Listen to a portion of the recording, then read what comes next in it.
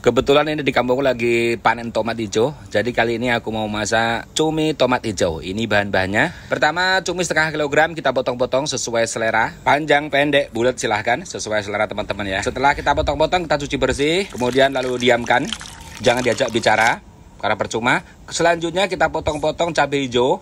Ini kita iris pakai taleran saja ya teman-teman karena ini tanggung sedikit jadi aku potong-potong seperti ini. Bawang putih, bawang merah, cabai rawit, cabai hijau semuanya kita potong-potong. Ini tomat seperempat kilo, potong-potong sesuai selera teman-teman juga mau dibikin seperti apa. Kalau aku seperti ini saja ya. Selanjutnya ambil pen, nyalakan kompor dan kita tuang minyak secukupnya saja. Setelah minyak panas kita masukkan bawang putih, bawang merah sudah tercampur kita masukkan bareng saja tidak apa-apa. Kita tumis hingga layu. Kemudian kita masukkan lengkuas, daun salam dan serai. Selanjutnya cabai-cabian menyusul semua cabai kita masukkan. Ini sudah kita potong-potong. Selanjutnya ada lagi tomat hijau. Kita masukkan semuanya. Kita aduk hingga merata. Desisan suara tumis ini merdu sekali ya teman-teman. Kemudian kita masukkan pete. Ini dua papan aku menggunakannya.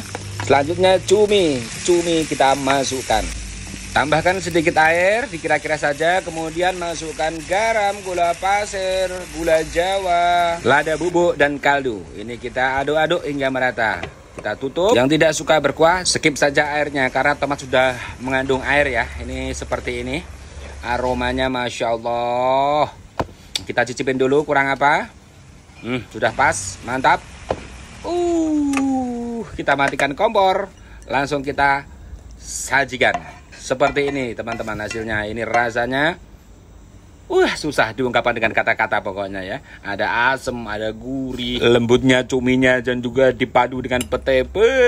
Ditambahkan nasi putih hangat-hangat. Wah seperti ini. Menggoda sekali teman-teman. Mari makan semuanya.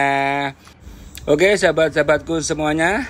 Sampai di sini dulu, semoga bermanfaat. Semoga kita semuanya dalam keadaan sehat walafiat, diberi kemudahan urusan dunia dan akhirat. Panjang umur, murah rizki. Amin.